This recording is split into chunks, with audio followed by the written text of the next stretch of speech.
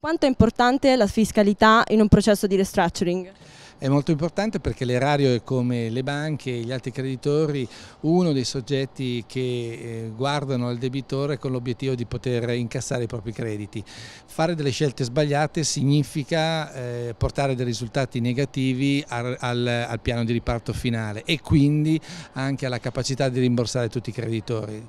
La fiscalità con l'aliquota che abbiamo, circa il 30%, quindi è uno degli elementi essenziali nel scegliere quale tipo di struttura nell'ambito della ristorazione a fare riferimento. Grazie, congratulazioni.